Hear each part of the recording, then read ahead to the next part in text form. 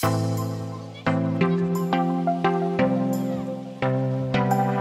guys, welcome to my channel Hairliciously. Um, as you guys can see, I am wearing a hat backwards. And I usually don't wear hats, but today it was one of those days where I just wanted to wear a hat. I was just feeling lazy about doing my hair. Um, before, I never wore my hat backwards because it would expose the hairline. Um, but as you guys can see, it's really framing the face and there's no sign of recession or balding or anything like that. So I'm actually very comfortable just going out like this and I think it suits me well, but you know, whatever. Anyway, today I wanted to talk about a Canadian-based regenerative medicine company called RepliCel. They're actually in the pursuit of treating male pattern baldness by using a person's own hair follicles. So back in 2012, RepliCel began a phase 1 trial called RCH01, which is their codename for a product to treat male pattern baldness.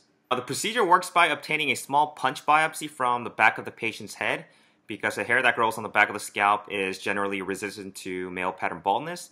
And from the sample, the cells called the dermal sheath cup cells are extracted from the base of the follicle.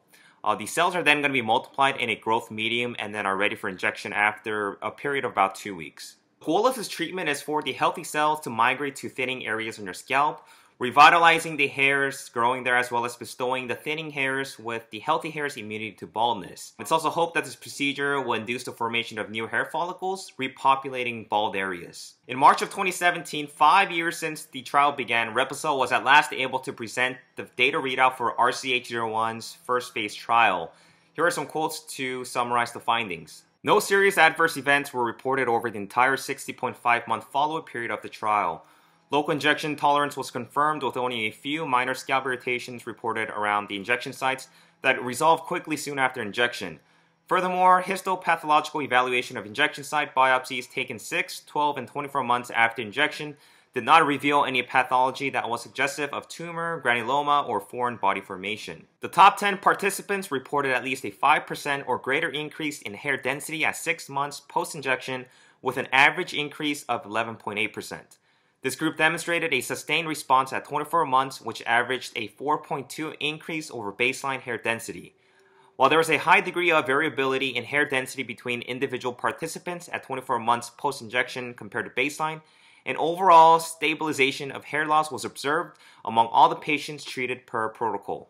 So that last line of that quote is actually very interesting because it means that this product could be, if not uh, something that's more permanent than finasteride and also without side effects. While most patients in the RCH01 trial saw an increase in density over baseline, how much of an increase they saw varied widely, with the top responders seeing a 20% increase in 24 months. As such, more data will be needed to determine how and exactly why some individuals saw a greater increase in density than others, and ultimately how much of an increase in density is possible. However, it won't be long before these questions will be answered. So, back in 2013, the Japanese cosmetics giant, and it's one of the oldest and largest in the world, it's called Shiseido, they purchased the exclusive license to RCH01 for use in Asia. Currently, Shiseido is actually in phase two um, of the trial, they're testing for the safety and the efficacy, and the trial is supposed to last until late 2018.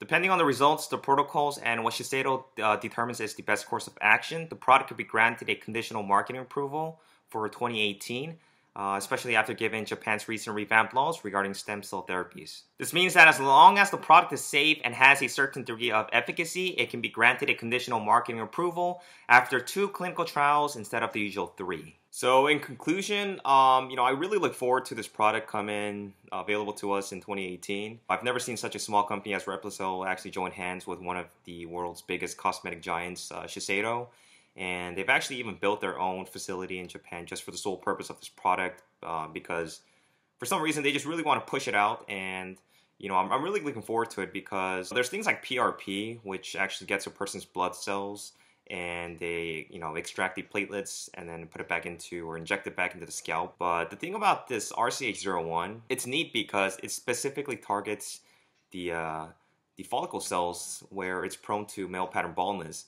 so I feel like it's it's another form of PRP, but it's more specific. It targets cells that are actually resistant to baldness, and by you know by pretty much transmitting them into areas that are balding. It's going to help revitalize the thinning hairs. It kind of seems like it's uh, like an FUE procedure where you extract the hair follicles that are resistant to uh, male pattern baldness, except for this is done on a cellular level.